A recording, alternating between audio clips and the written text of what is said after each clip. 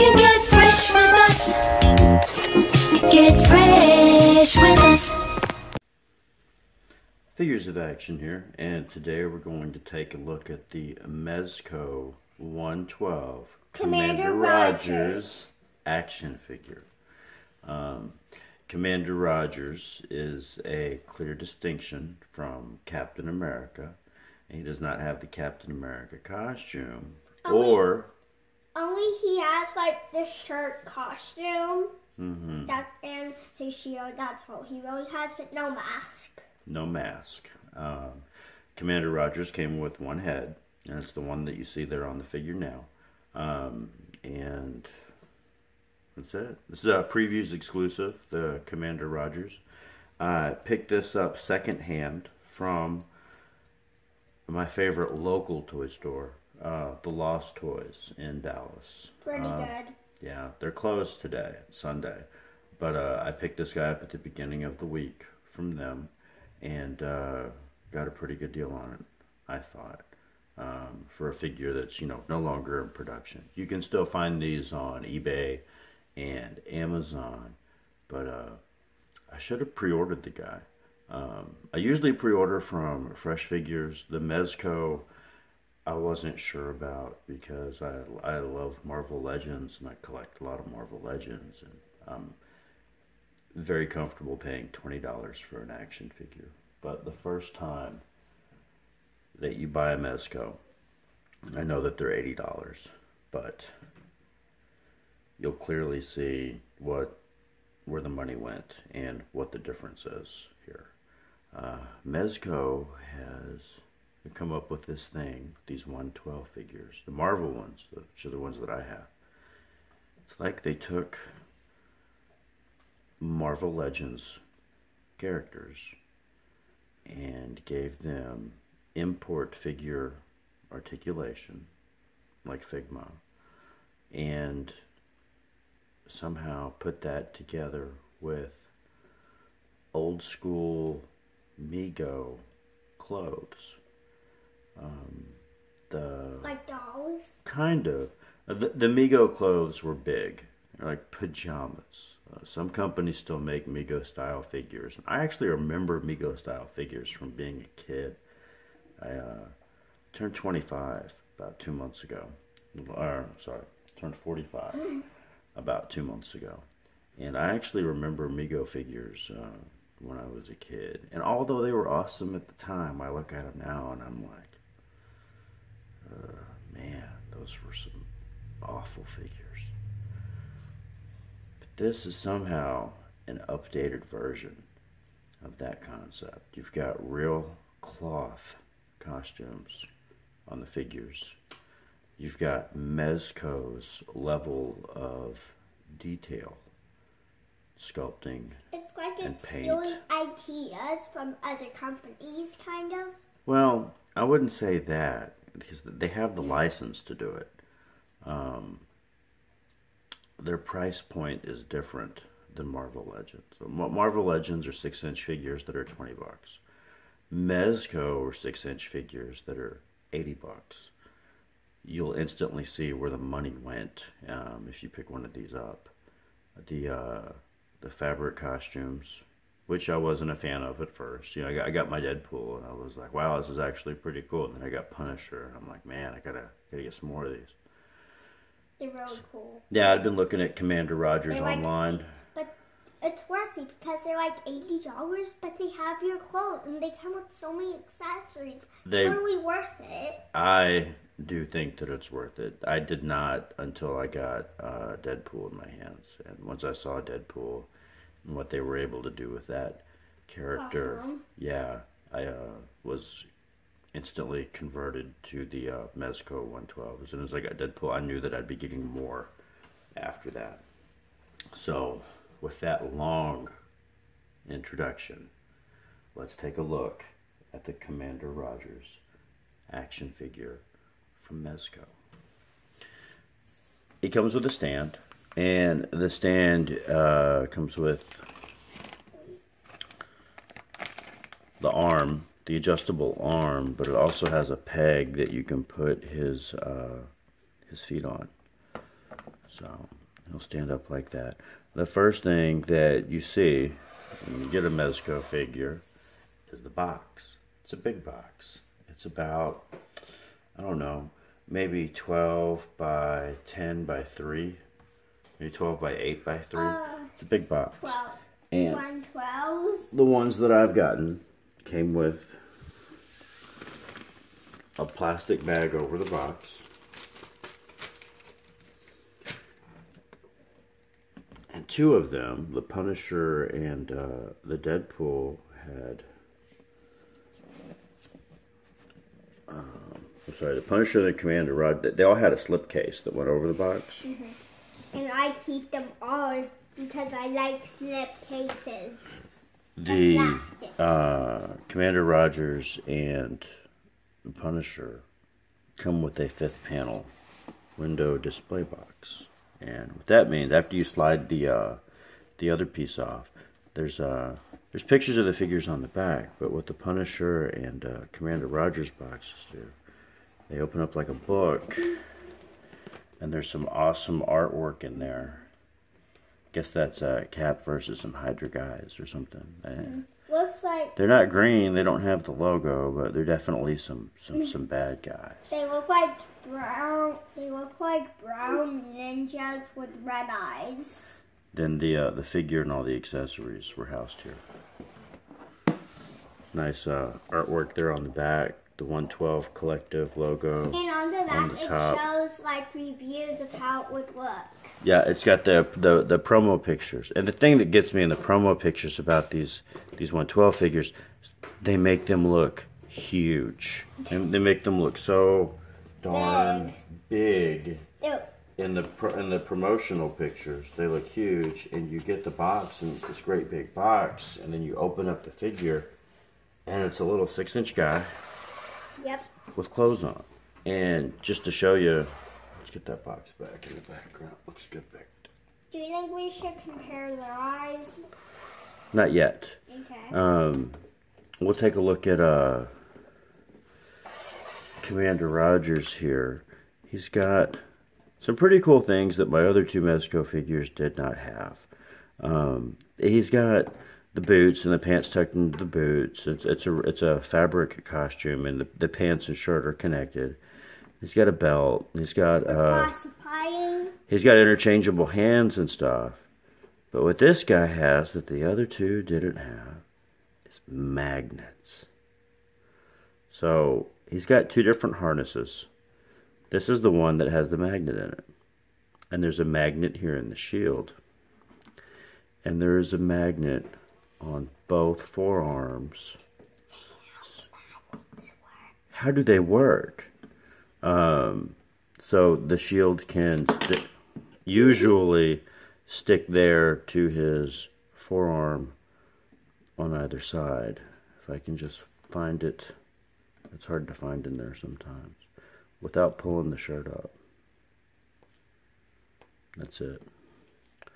And I'll show you the clear shield is pretty cool.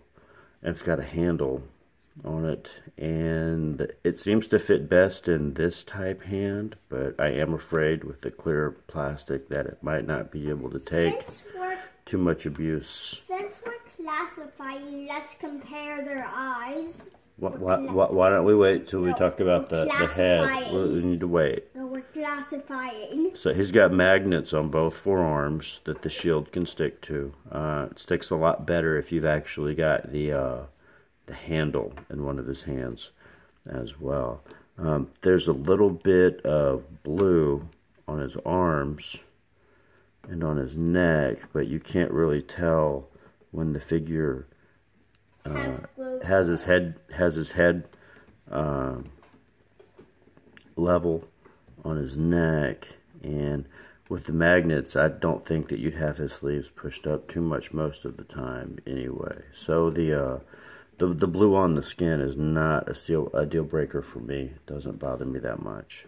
Um, I am aware that it's there. Somebody on Instagram had told me about it but uh, I'm fine with it. It's just a little bit of blue. It doesn't I, I don't I don't need to take it off of there for anything. like painting the fabric and they got some I think on the arms, maybe. I think that one of them may have been heated up, or one of them may have not been completely dry when they put them against each other, and that's how his skin got kind of blue under his costume.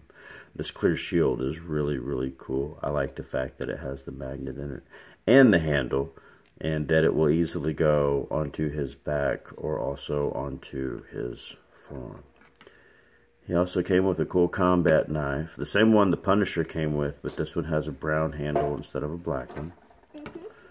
The uh, the shoulder strap with the magnet is removable pretty easily, and he has Stars on his shoulders and on the front of his chest. he was packaged with a different um, harness thing on the figure. That one with the magnet was actually in one of the series of trays behind him. Came with So- square stand. He came with this harness strap thing that does not have a magnet. This is the one that he was wearing in the package. Um, Probably we're because digging into the. Go ahead. Probably because they didn't like want somebody open it at the store and then like explore it. So then they didn't want them to like put the magnets on it in case it was loud and somebody was doing something Maybe. they need to hear. Here's a closer look at the arm that came with the stand. And then in the 112 accessories bag, there is a bunch of hands. a bunch of hands. Which is kind I think he has a total of eight or ten hands. Let's count. And he's got thumbs up. Thumbs up the video. He's got the open hand, the karate chop hand, No, high five hand. the fist hand, Fist pump. the pointing finger hand, another karate chop hand, No, high five. another fist hand, a shield or knife grabbing hand, and another karate chop hand, but this one's not straight. This one's got a little curve to it. What he does not have anywhere is trigger fingers, but he doesn't come with a gun either. Uh, Captain America, uh, at least the, the more modern version of Captain America, and also Commander Rogers, use uh, Captain the shield is a weapon um, because it can be. Like, So You could like do his- it like this. that was a, a closer look at some of his accessories. Let's take a look at the figure. The belt, I don't think is removable. Um, it's similar to the belt on the Punisher, and the one on the Punisher came came off. Can we hang on? But I can't get this belt to come undone. And one thing that does kind of get me about it is it has a tendency to ride up high. But then Steve Rogers is what, 90 years old? So he wears his pants like an old man, and he wears his belt kind of high like an old man. So it's kind of, it's kind of funny, but it's kind of annoying. Um, trying 99? trying to pose him and stuff. Because I yeah, he's like 90 years old. He was frozen in ice for I don't know how many years, and they found him. So yeah, really, like really, he's like 90 years old. probably like twelve hundred years. So, No. but the belt, the belt was originally fixed in place with a piece of brown thread, and somehow through moving the belt, I, the thread came undone, and I actually uh, saw it sticking up, and it just pulled right out. So now the belt can move all around, but one thing I can't seem to get it to do is to rest just a little lower there. So sometimes when I put him in some poses, it kind of rides up a little bit, and sometimes you can see the difference between the the shirt and the pants with the belt just kind of where Yeah. where a belt would not be you know if you were wearing it through your belt loops or Hey, on your pants yeah we'll talk about it in a second Okay. with the eyes Let, let's compare Oh. them. in a second Okay. um, I can't get the belt to sit quite as It's low as I'd like it to. Uh, the belts on the Punisher and Deadpool do sit lower than this one. This one's just kind of high, but Steve Rogers is an old man, so I guess it's okay. Um, the boots are amazing with the detail and the uh, the paint, They look like real boots. the shading on them. They do look like real boots. They are pretty freaking amazing. And they like it's kind of shiny right there. Like it looks like it's shiny. It's made Mhm. out of like metal or something, Mhm. but it's probably just like shiny brown paint or something like that. Because when you look at it really closely, then it doesn't look shiny anymore. The stripe on his pants and these here, they seem to almost be like a vinyl decal type.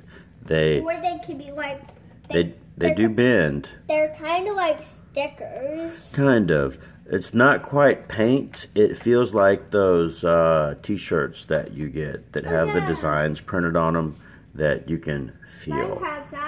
Most similar to that is the best way I can describe it. I'm not a textiles guy. I don't know about uh, All the Uh, textures. fabric and uh, Yeah. uh, applications that they and all that. Now but uh, it compare seemed. their eyes?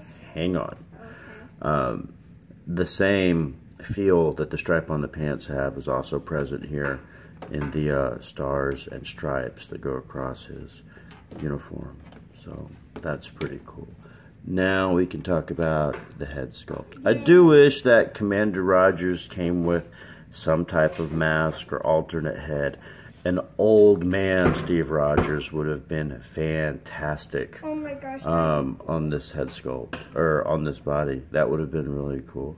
So I'm not the biggest fan of the head sculpt. Um, it is very well sculpted, painted. but we don't want to detailed. say it's horrible because it is a good action figure. It is not horrible, but of the action figures that I have from Mezco, it is my least favorite. It is very well done. I just, I guess, don't like the Commander Rogers yeah, we're character's face. Uh, it's not we're Mez. sorry, 112. It just looks weird. Yeah, it's not Mezco's fault. I just, I would have preferred a different head sculpt. And Old Man Rogers would have been really, really awesome. That might give them an idea to make one. So, Some, if, so if you're one, if you're somebody that works at 112, um, we buy your action figures and we like them. something my seven-year-old noticed yesterday was how small his eyes were. Yeah, And I showed her how small Deadpool's and Punisher's eyes we're were. And she broke out one of her Marvel Legends Kitty to show Pryde. how much bigger her eyes were than his. And I think that Marvel Legends are not in a true Just look at 112 scale. And that sometimes their Focus features camera. are bigger. So The 112 figures are in a true 112th scale, so while they're small, their features are also just small. look at her eyes Some of the I know his. some of the Marvel Legends features are sometimes exaggerated, not just the height. I know not everybody in the Marvel universe is six and a half feet tall, but most of the Marvel Legends seem to be six and a half inches tall.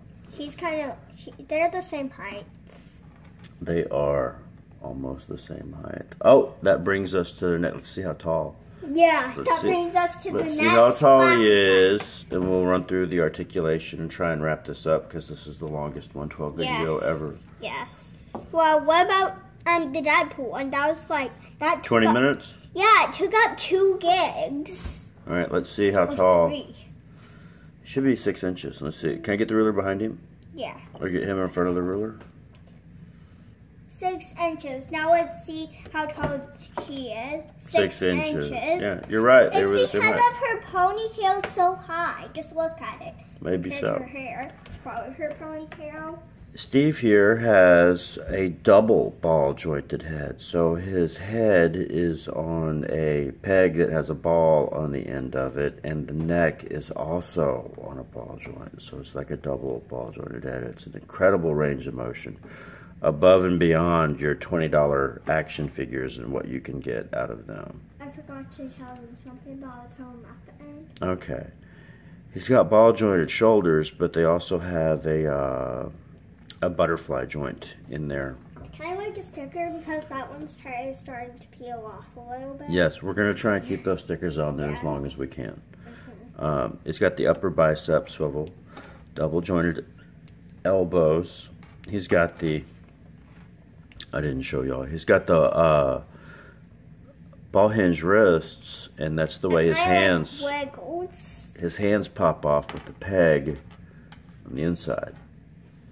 For some reason, I thought that number one hand right there was like a peace hand. I thought it was like that for a minute. I like peace. All right. He's got the diaphragm joint. He's got a waist swivel. I think he's got a waist swivel. Oh yeah, wiggle, wiggle, wiggle. Or he's got he's got a double diaphragm. He's got a, a diaphragm joint and then a waist joint that is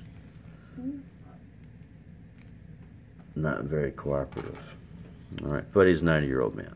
So um, he's got the ball jointed hips. Nine? 90. Oh, I thought you said nine. I was like, He's got ball jointed hips.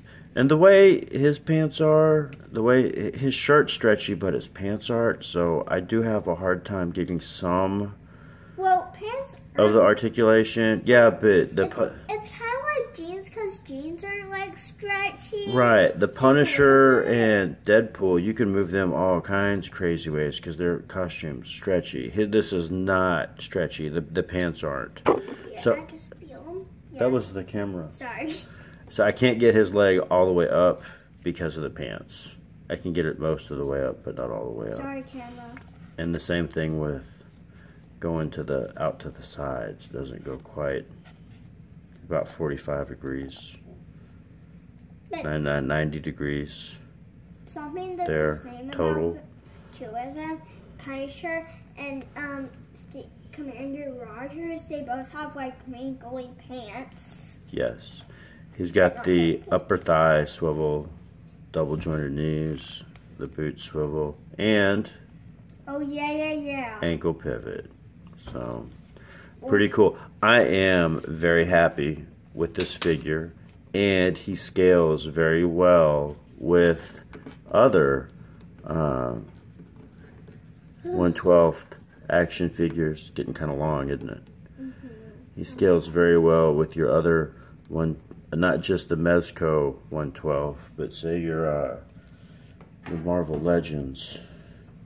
He's about as tall as they are, unless they're oversized on the bigger body there. Let's girl's the biggest. So, yeah. But him and him, they're both the same height, but he's not. He's the, like the tallest. Him, So, yeah, he scales pretty good with your with your Marvel Legends and your uh, your Mezco 112. Um, that is about all that I can think of to tell you about Commander Rogers. I know this video probably ran a little long. we're but, uh, sorry about that. Not too sorry. We're still going to put it on YouTube. We are. Yeah, we so are. we're not really sorry. All right. Anything else you'd like to add? Like and subscribe and comment below. And also, um, some. Thank you for watching all our 112 videos. If we ever get more, um, we'll, we'll put it on YouTube as normal. And thank you for watching our Punisher video and this video. But if you haven't watched the Deadpool and Punisher video, please do that after this video. Bye, guys. Thanks for watching.